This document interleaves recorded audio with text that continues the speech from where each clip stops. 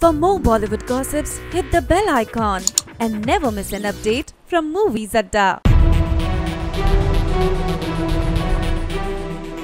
जब पहली बार ये अनाउंस हुआ कि Salman Khan hugely successful Race franchise का हिस्सा बनेंगे तब से उनके फैंस खुशी से पागल हो गए और वो अब रेस के तीसरे इंस्टॉलमेंट का बेसब्री से इंतज़ार करने लगे इस फ़िल्म को लेकर काफ़ी एंटिसिपेशन नज़र आया खासकर क्योंकि इस फ़िल्म की पहली दो इंस्टॉलमेंट्स काफ़ी सक्सेसफुल रही मगर अफसोस, जब ये फ़िल्म रिलीज़ हुई तो फैंस इस फ़िल्म से काफ़ी निराश हो गए।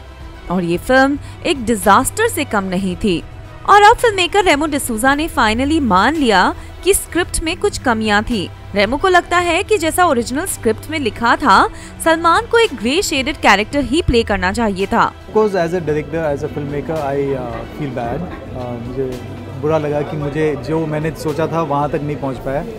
एट द सेम टाइम मैं मैं इस बात से खुश हूँ कि मैंने जितना मुझे मेहनत करनी थी जितना मुझे uh, जो ज़िम्मेदारी दी गई थी मुझे कि यार ये आपको फ़िल्म बनानी है और इस लेवल पे बनानी है ये करना है मैंने उसका उसका एक मतलब पॉइंट वन परसेंट भी मैंने उसका नहीं छोड़ा। मैं डन एवरीथिंग जितना पॉसिबल था। हम सबने पूरी टीम ने बहुत मेहनत की।